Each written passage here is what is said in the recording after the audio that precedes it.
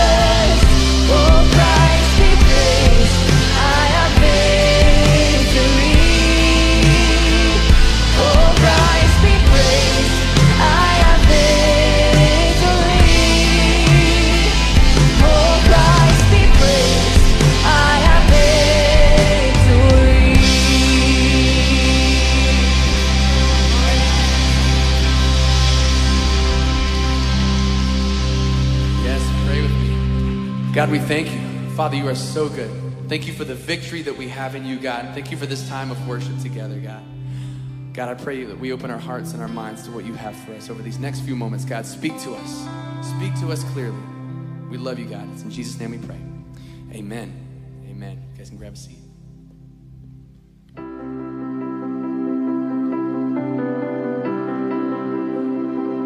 It's no secret that generosity has long been acknowledged as a way to increase happiness and improve emotional well being. You could say generosity heals because it improves mental health, increases emotional health, and research shows generosity contributes to physical health. In fact, modern research confirms these ancient words of wisdom from Solomon A generous person will prosper, whoever refreshes others will be refreshed. And so, whether it's volunteering your time or offering financial support, if it's from your heart, it heals your heart. There are a few ways you can express generosity for the things of God at Journey. You can give online through the Journey app, mail your gift to the church office, or if worshiping in person at one of our campuses, you can place your offering in one of the many offering stations throughout the building. Thank you for your generosity. And let's pray. Father, thank you so much for your goodness and your grace and your love. We pray for these gifts that are given to you. May you use them to multiply and grow your kingdom in ways we can only begin to imagine. Thank you so much for your love and grace again. It's in Christ's name we pray. Amen.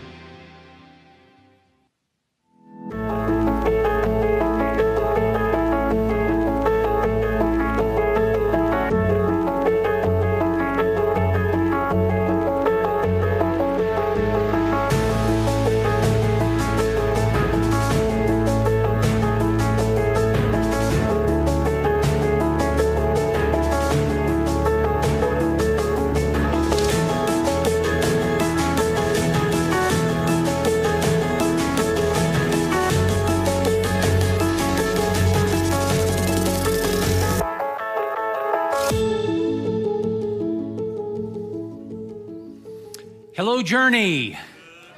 Good morning. Welcome to everyone at Apopka. We're so glad to have you with us today. Maybe it's your first time, maybe it's your first time back in a long time. We're really glad to have you with us today. Let's welcome our Lake County campus. So good to have Lake County with us today. We welcome those folks at Lake County and our online community. So many watching from so many places. Yeah, let's clap for our online as well. Because I'm going to tell you something. Next week, next week you're going to hear a story about what God's doing in our online community. Just going to blow you away. So we're excited about uh, about that as well. Hey, happy Mother's Day to all moms. Let's give our moms a hand today. Happy Mother's Day. That's awesome. We have a special gift for you, Mom. It's in a, uh special wrapper that looks like this. And I love what this says on it. This gift has been prayed over by a group of women asking God to pour blessings over each mother who owns one. Love that little phrase. That's cool. Inside, it is a, uh, a little framed statement by a pastor named Andy Stanley, uh, one of the influential pastors in America. But uh, Pastor Stanley made a statement several years ago that we just kind of adopted as well. And it says this to moms and to dads, but today for moms, your greatest contribution to the kingdom of God may not be something you do, but someone you raise. Amen. Someone that you raised.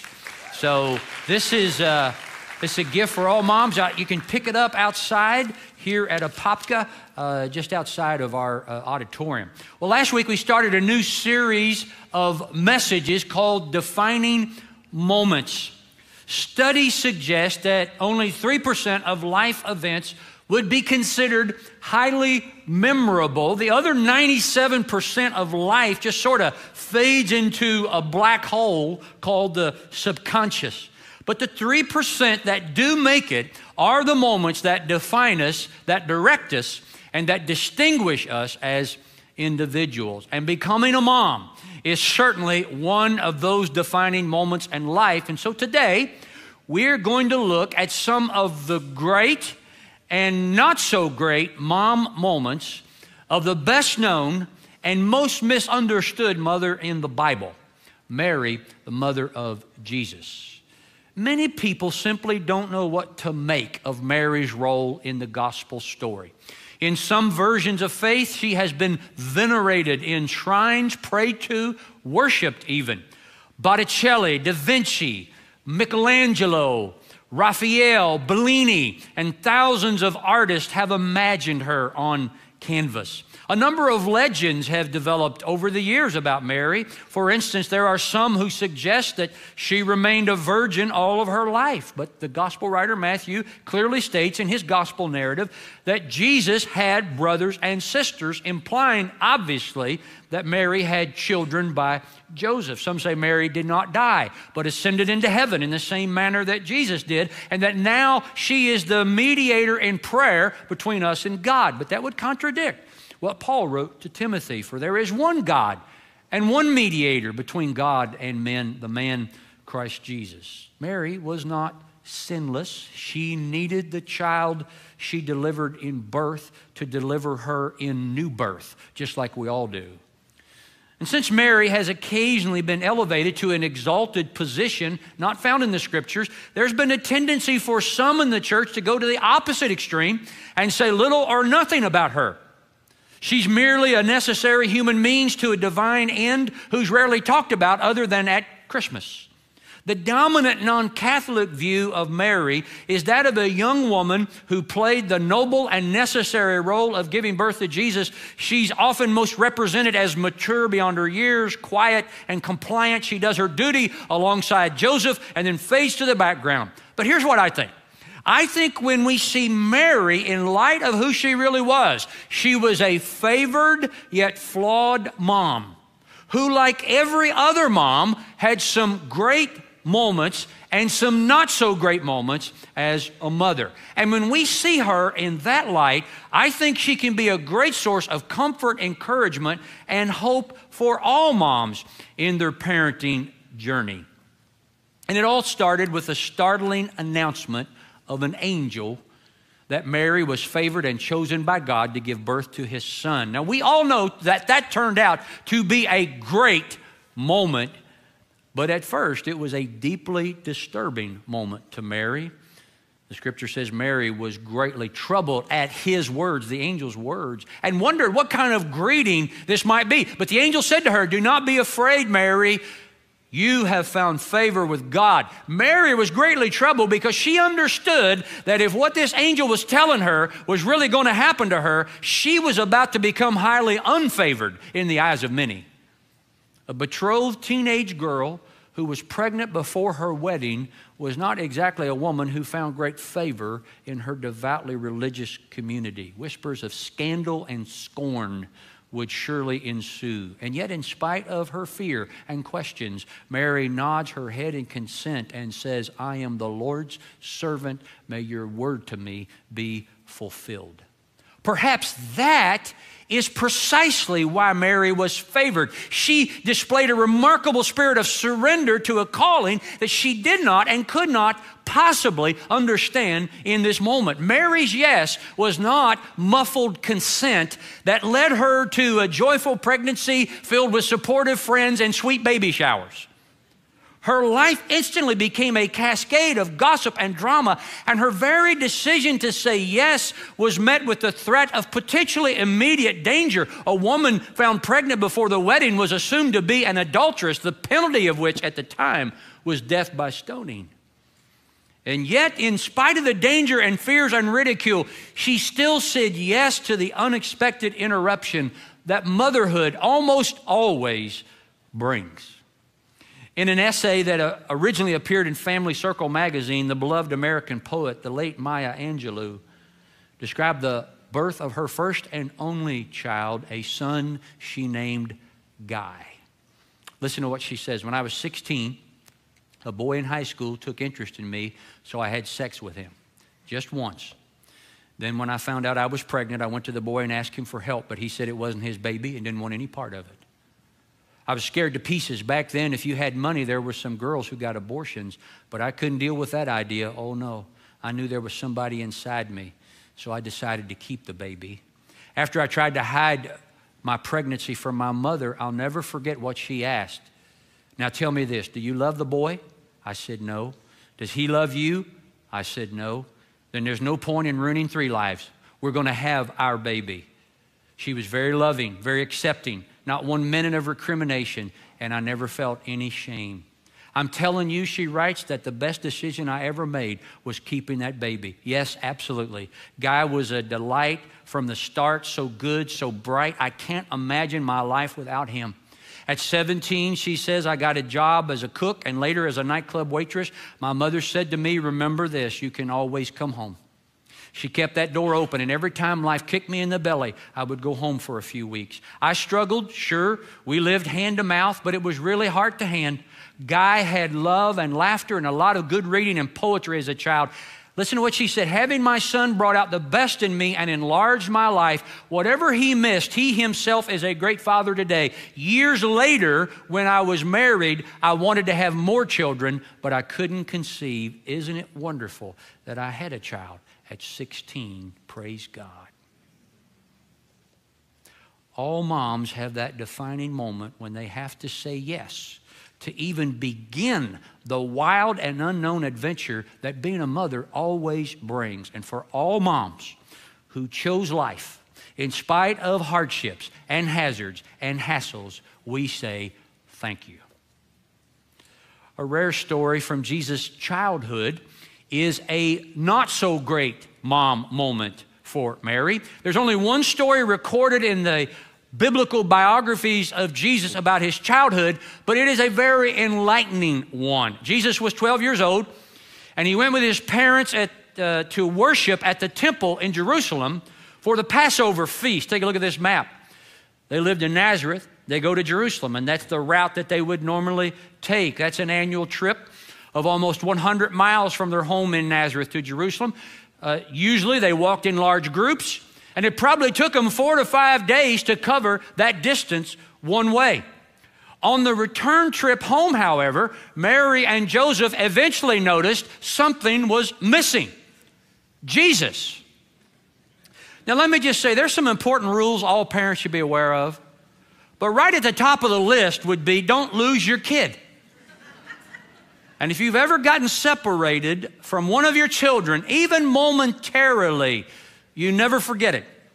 And you have a hard time forgiving yourself. Mary and Joseph probably assumed that she was that he was with extended family members or with a close friend and his family. We're not told why neither of them had an exact location on Jesus. But we are told at the end of the first day on the return trip, when they set up camp, they discovered Jesus was not among them. The longer they searched, the more concerned they were. Mary and Joseph must have felt sick at their stomachs and deeply ashamed. They had one job. They'd been entrusted by God with raising the Messiah, and somehow they lost him.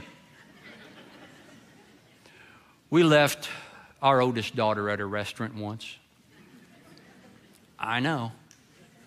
Can't believe my wife did that. Actually, it was my fault.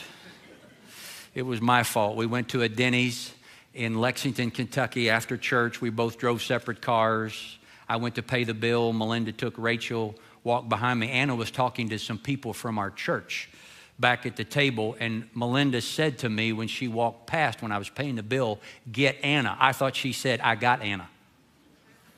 So I drove home. Melinda's in the driveway. She saw I did not have Anna. And she mouthed the words, Where's Anna? And it was a uh, Home Alone moment, you know, like, oh my gosh, we left Anna. So we drove back to the restaurant. It was only about a 10 minute uh, separation period and picked her up, and that was so interesting. But I want to tell you something. After, after that time forward, I would say to Anna when she acted up, I'm going to take you back to Denny's. and this time, to this day, Anna hates Denny's. Mary and Joseph anxiously retraced their steps back to Jerusalem. And it didn't take them 10 minutes to find him, it took three days. To say that panic was growing in Mary and Joseph's hearts would be an understatement. Luke describes the scene when they finally find him. After three days, they found him in the temple court, sitting among the teachers, listening to them and asking them questions. Everyone who heard him was amazed at his understanding and his answers. When his parents saw him, they were astonished. His mother said to him, Son, why have you treated us like this? Your father and mother, or your father and I have been anxiously searching for you. Why were you searching for me? He asked. Didn't you know I had to be in my father's house? But they did not understand what he was saying to them. The agony of Mary and Joseph contrasts sharply with the calm response of Jesus when they finally found him. Mary blurts out an accusation, perhaps tinged with that mixture of guilt and relief that most parents recognize.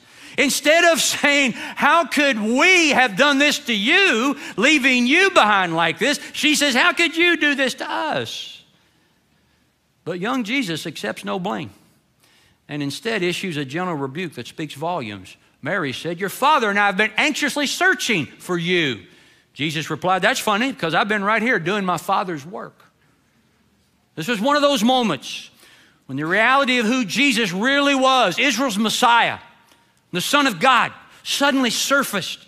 But right after that revealing moment, we read this interesting phrase. Take a look. Then he went down to Nazareth with them and was obedient to them. And Jesus grew in wisdom and stature and in favor with God and men. Jesus was obedient to Mary and Joseph. He knew who he was. He knew he had a special calling even beyond his parents' understanding. But as he matured physically, socially, spiritually, intellectually, as a child and teenager living in their home, he was obedient to and respectful of his parents. If I could throw in a little bonus material today, I would say to middle school and high school students in particular, it's nice to give your mother a card or to make her breakfast or to take her out to eat this weekend. But I guarantee you, what would mean more to her is for you to be mature enough to obey her basic instructions 365 days a year. When she says you can play video games for just a half hour, you don't stretch it to 45 minutes or an hour.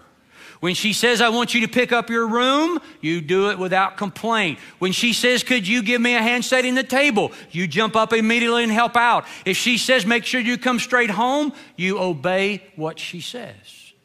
The teenage years are usually the most difficult for a mother to endure. It's a period when te- teens are asserting yourself more and more, and you're struggling for control. Your friends are disrespectful to their parents, and it's a cool thing to rebel. As a teenager, you're encouraged to question authority and insist on your independence. Someone said this adolescence is nature's way of preparing parents to welcome the empty nest. Amen.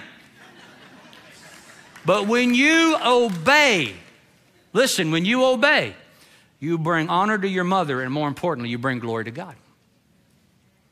We read about another great mom moment in the Gospel of John. The second chapter of the Gospel, John begins by saying, A wedding took place at Cana in Galilee. Jesus' mother was there, and Jesus and his disciples had also been invited to the wedding. Let me just pause and ask you can you picture Jesus at a wedding?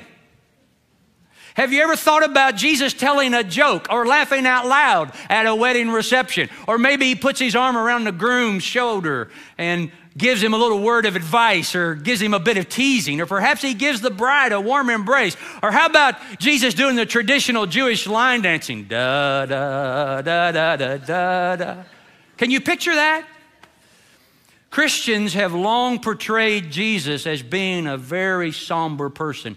And there is a verse in the Bible that says he was a man of sorrows, familiar with suffering. But the scripture writers also tell us that in the last hours before his death, Jesus said to his disciples, My joy I leave with you. This is a man going to the cross. Jesus, at his core, was a joyous person. I think he would have been very comfortable at a wedding reception. I have performed and participated in several weddings, and I can testify that things can and do go wrong at weddings. And something terribly went wrong at this wedding in Cana of Galilee. Something not at the ceremony, but at the reception, the host family ran out of wine. For a Jewish feast, wine was considered an essential. Without wine, said the rabbis, there is no joy. And it's not that the people in first century Judaism were a bunch of drunkards. In fact, drunkenness was considered a great disgrace, so much so that they actually drank their wine in a mixture composed of two parts wine to three parts water. But however weakened it might have been, keeping the wine flowing was considered a necessity at Jewish feast, and failure to do so would have been a major source of embarrassment. In those days, it was often difficult to tell how many people were going to attend a wedding feast, or for that matter, how long they were going to stay. These people were poor, but they were proud. And they would work for years to be able to provide enough food and drink for a week long wedding celebration. Mary, the mother of Jesus, was sympathetic with the families of the bride and groom. This was an awkward social situation that could have lasting negative repercussions for these families for years to come. Most likely, one or both sets of parents were good friends of Mary's, and some scholars have even suggested that Mary was acting as a kind of a wedding coordinator. That's why she knows what's happening behind the scenes. And so she finds Jesus and she says, They have no more wine. That was not an announcement, you understand. That was a not so subtle request. And every mother listening or watching knows what I'm talking about. When my wife used to say to one of our daughters, the dishwasher has been run, or there are clothes in the dryer, she was not just informing them of the location of those items. she was making an indirect request for assistance. So when Jesus' mother said they're out of wine, she was soliciting help, not just stating facts. Jesus understood this and he replied, Dear woman, why do you involve me? Leon Morris, in his New International Commentary, says the word woman does not come across as cold in the Greek as it does in the English. And boy, that's good to know because if I said to my mother, woman, why are you involving me? Somebody's going to need some wine. By the way, Jesus uses this term for Mary again in his last moments as he hangs on the cross and tenderly commits Mary to the care of John one of his beloved apostles, he says, Woman, behold your son. This really is a term of affection. Yet Leon Morris says we must bear in mind that it is most unusual to find it when a son addresses his mother. That Jesus calls Mary woman and not mother probably indicates that there's a new relationship between them as he enters the public phase of his ministry. Jesus, perhaps for the first time, is affirming his independence from his mother by saying, My time has not yet come. He was gently stating that he wasn't bound by her wishes anymore. Her agenda wasn't necessarily his agenda. It's a not so subtle way of him saying to his mom, Dear lady, there's someone else I must please first. But then Mary immediately does two things that only a mother can do. First, she seemingly ignores him and turns right around and says to the household servants, Do whatever he tells you. It's as though Jesus' mother pretended that exchange never happened and went right on with her agenda. And she turned to the servants and she said, You just do what he says. And remarkably, Jesus responds with his first miracle, turning water into wine. What's really going on in this story? Well, it's hard to translate the exact meaning of those words into English, but the fact of the matter is, Mary clearly understood Jesus was able to help even if she didn't know how he would help. She also is openly saying, as only a mother can, my boy can do anything if he wants to. You just be ready to do what he tells you. But she clearly recognized Jesus was in control here, not her. He would act on his own timetable. That's why he said, My time has not yet come, meaning I understand the situation, mother, and I will help when the time is right. She wasn't telling him what to do or how to do it. She merely readied the servants to act on Jesus' instructions whenever he was ready. And when I think when you understand those words in that light, these are some of the greatest words of faith in the Gospels. Let's read them out loud together. Read them with me. Do whatever he tells you. Even when Mary did not understand what Jesus was going to do, even when it seemed at first he had refused her request, Mary still believed in him so much that she prepared the people around her to do whatever Jesus instructed because you see, Mary had the faith which could trust even when it did not understand. And I want to tell you, that's one of the greatest moments in any mom's life to surrender and prepare yourself to do God's will, regardless of what it may be.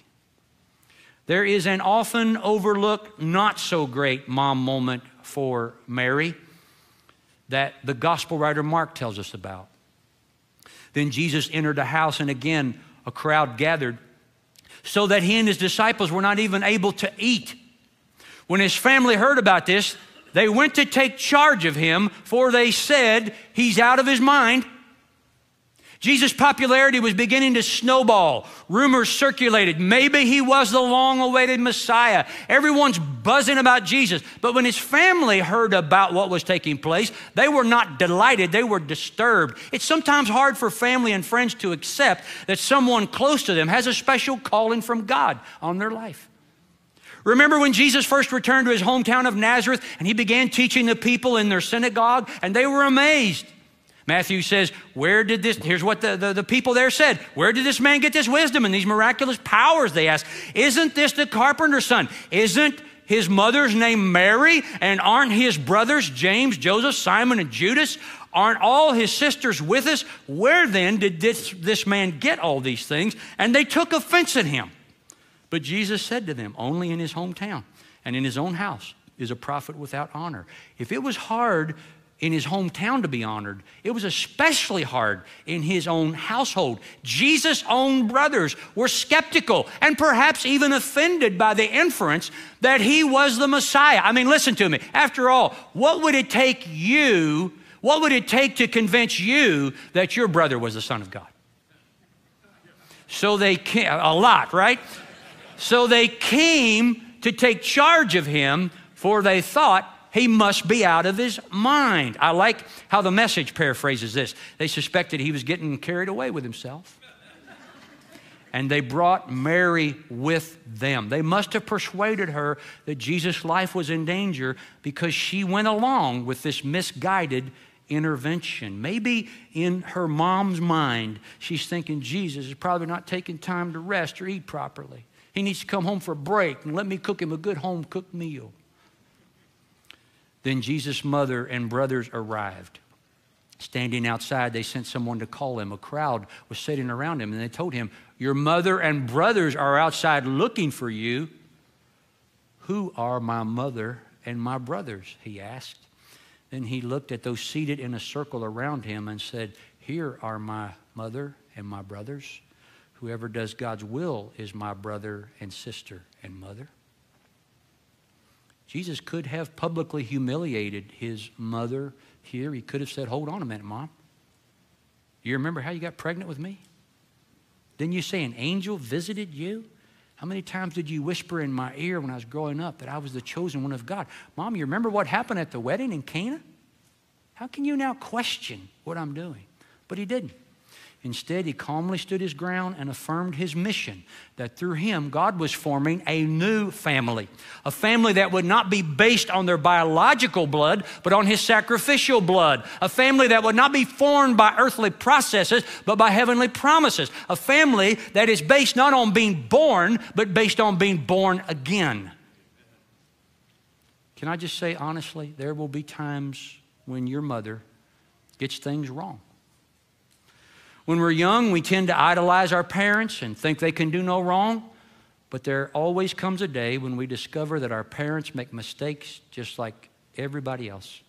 They're not perfect parents, they're not perfect mates, and they're certainly not perfect Christians.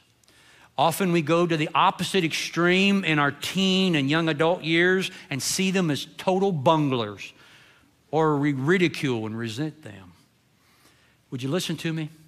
Maturity is when you can forgive your parents because they are fallible, but you can still appreciate that they're valuable to your life and well being. Don't be bitter against your mother all your life and blame all your problems on her. Forgive her. But don't allow her ongoing misguided influence to divert you from walking in obedience to God either. There may be times when you have to admit your mom is just wrong. Maybe she does not share your Christian values. Maybe she criticizes you for being baptized or changing churches or giving away so much money or the way you raise your children or the fact that you stay with your spouse that she frankly can't stand. She thinks you're out of your mind. Jesus sets a positive example for how we should respond in that kind of circumstance.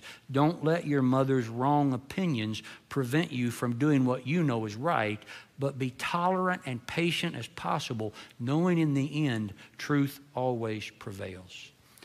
The most heartbreaking, not so great moment for Mary is also recorded in John's gospel, and it says, Near the cross of Jesus stood his mother. Everything Mary feared would happen to Jesus did. How crushed she must have been as she stood at the foot of the cross to see her son writhing in pain and not be able to comfort him, to hear his enemies taunt him and gloat over his dying breaths and not be able to silence them. Mary was there because that's what moms do. They show up when everybody else runs out. I find it revealing that no words from Mary were recorded at the cross. What would one say?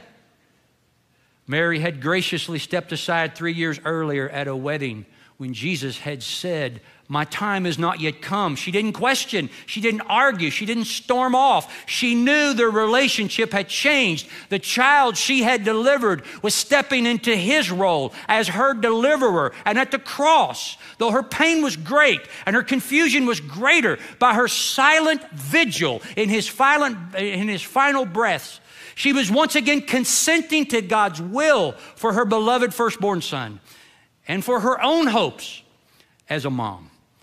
And the biblical record of Mary would have a sad ending if that were the last that we read of her. But there is one final, really great mom moment for Mary. And we read about it in the book of Acts. Following the death, the resurrection, and the ascension of Jesus, we read these vindicating words.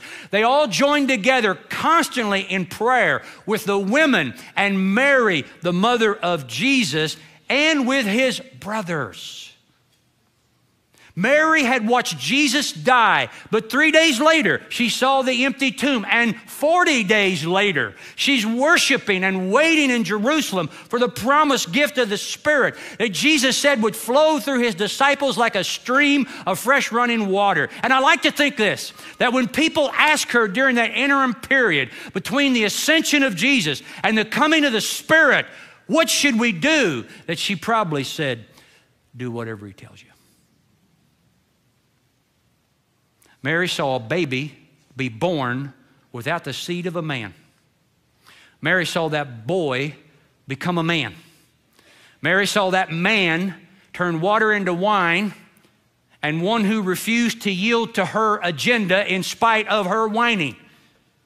And Mary saw death turn to victory. She witnessed his first miracle at a wedding, and she witnessed his final miracle at a graveyard. The first miracle caused a stir. The last miracle created a story that will never be silenced. The first miracle created wonder. The last miracle caused worship. The first miracle brought people to their feet. The last miracle brought people to their knees. The first miracle launched a ministry. The last miracle led to a movement of a growing community of people on a life changing journey with Jesus where everybody's welcome and nobody's perfect. But through Jesus, anything is possible. Stand with me right now. Let's stand together. Lake County, stand with me right now. So, Father, I thank you so much for the honesty of the scriptures that you have revealed to us because we need to see it. The great and the not so great moments of parenting and of Mary. There are times when we feel like as moms or dads, we got it right. And there are times we know we got it wrong. But I thank you, Father, that Mary comes back and she teaches us. Even when we don't understand, even when we're confused, even when it's hard to trust, that she says, Do whatever he tells you. I just pray right now, Lord, that anybody that you're speaking to, that they'll do whatever you tell them. In Jesus' name we pray. Amen. I love that. It's one of the greatest statements of faith in all the scripture. Do whatever he tells you. I have no doubt God's telling some of you to do something, and I'd love to know about it. We'd love to know about it as our pastoral staff here. You can go to Next Steps, Journey Christian com next steps. Tell us about that step you're ready to take, that you're ready to do whatever Jesus tells you to do. For some of you, and we saw it at 9:30 once again. A lady gave her life to Jesus and she was baptized into Christ. A mom baptized into Christ. Maybe there's a mom. Maybe there's a, a single adult. Maybe there's a dad. Today, I encourage you do whatever He tells you to do. And if it's to profess your faith in Him and be baptized, the door's open. Just go right now and do it.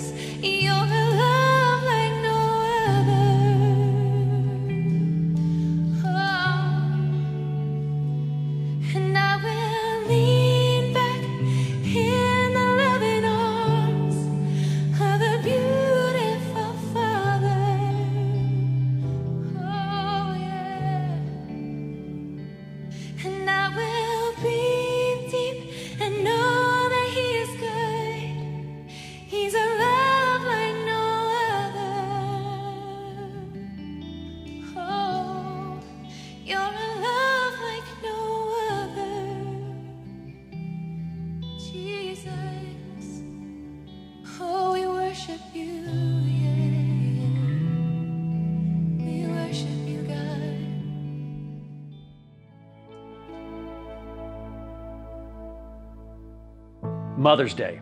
The most famous mother in history is Mary, the mother of Jesus. Can you imagine Mary's first communion? How excruciatingly painful that must have been for her. What must that have been like for her to reflect on the body and the blood of her son Jesus? As she prepared to eat the bread and drink the juice, her thoughts must have been more vivid, personal, and emotional than any you and I have ever had about communion. Think about this the one to whom Mary gave life became the one who gave new life to her. Talk about a defining moment. So each week, like Mary, we remember our new life in Christ. Jesus said, I have come in order that you might have new life, life in all of its fullness. So together, let's pray and then celebrate communion together. Father, we are so grateful for Jesus and all that he has done and that we have the defining moment in our lives where we gave our life to Him and He gave us new life in return. We celebrate that right now, Lord. We thank you for this piece of bread, this cup of juice that remind us so much of how much you love us and so much of what you've done for us. And it's in your Son's name we pray. Amen. Let's take the bread. And let's take the juice. Once again, happy Mother's Day to all of you who are joining us online. Don't forget, uh, we have a gift for mothers, and you can simply go to the link on your screen. Or if you're in one of our chats, feel free to click on the link that'll be posted in the chat, and that'll take you to uh, our website where you can request a gift uh, for yourself if you're a mother, or if you'd like to give a gift to your mother, you can do that as well. And so we appreciate all of you who have joined us again today. Um, in just a few moments, there'll be some questions that come up on the screen that will generate some good discussion for you, your family, those who are with you. So take the opportunity uh, to dive a little deeper, uh, use those questions as a way of doing that, and you will certainly be blessed. Again, next week we continue our Defining Moments series, teaching series, and with a focus on baptism. So be sure next week to join us, invite your family and your friends. You'll be blessed. And never forget that through Jesus, anything is possible.